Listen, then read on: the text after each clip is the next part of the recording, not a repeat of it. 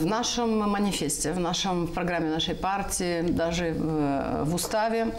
э, мы говорим о том, что наш, э, наша цель главная – это обеспечить всем гражданам Республики Молдова в нынешних э, границах, которые они были декларированы в 1991 году, высокий уровень, высокое, высокий уровень качества жизни без никакой дискриминации для всех граждан Республики Молдова. А это возможно только в условиях, когда все системы, социоэкономические системы Республики Молдова будут гармонизированы с системой э, Румынии, которая является э, страной-членом Евросоюза и членом НАТО. И потом уже мы э, предлагаем э, нашу программу, которая имеет и экономический э, сегмент,